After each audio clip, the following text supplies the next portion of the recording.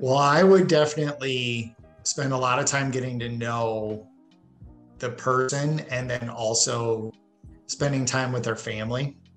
That seems a little weird.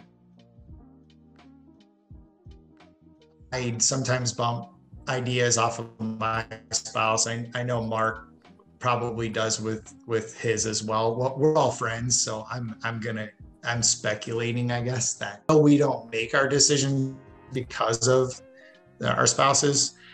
Uh, we make our business decisions um, because of what Marc and I are doing and our vision for the company. Um, but it, it's definitely good that our, your families are aligned too. It seems kind of weird.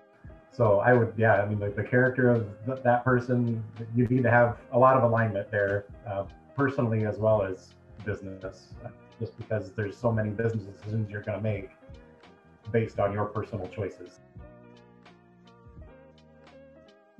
Before you get into um, before you actually get into it so let's say you find that person you're dating and and you and you think oh this might be a good fit for us then then you got to kind of get engaged you know and really start talking through um, you know the legal aspect of it you know how is this partnership going to work? What's the ownership stake? What's the investment um, from each partner? And especially if you're going to merge two business together because the value of those businesses could be vastly different. And then, and then, so figuring that out, how those decisions are going to be made, um, who's going to do what roles, kind of thing. You know, the operations of the company. Um, to me, that would be the second most important thing to you know rehearse those a little bit. Uh, create a budget together, like work on your budget. See if see if you can come to that alignment um, on something that's difficult I mean, Zak and I, yeah, the, we did the discussion of, you know, what, how, how would the financial aspect work or what percentage of the business are you going to own and what's the buy-in look like and who's going to, am, am I coming to the table with money or is, is this like a pay as you go situation? So just understanding what those, what the buy-in steps are going to look like and then the valuation of those companies. I mean, Zak and I, um, we both independently had uh, his company evaluated. Um, so we had to find middle ground within all of that. So, um, and the fact that I mean that, that was a big encouragement. The fact that we could could find that middle ground. You know, I mean, um, if if somebody's too hard nosed to stick to their guns and to say no, this is what it is. It's got to be this. I mean, that's going to be a pretty telltale sign of how that decision making process is going to go as a partnership too. So.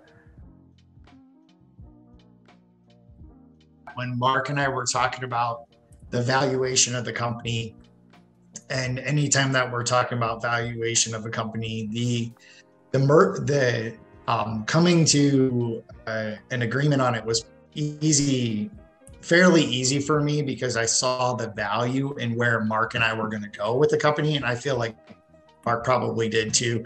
So the where we sold the company when we when we had our partnership, you know, that isn't the end game.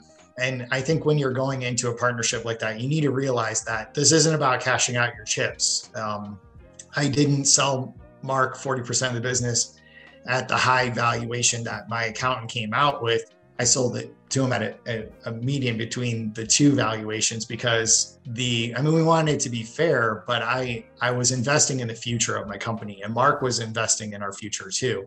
And we both realized that. And if a person if you're negotiating that and you can't come to agreement or the negotiation seems really hard you're going to have those problems later. You know when we have those moments we we have no problem uh, coming up with a number and figuring that out because we did the hard negotiation easy you know at the and it wasn't hard for us but we did that initially. I think those would be those are red flags. If you're having problems just figuring out your roles figuring out what your responsibilities would be um, you know things like that then you're definitely going to have animosity and, and hold hold you know some you'll do the scorekeeping thing. Which is which is a nightmare for relationships. So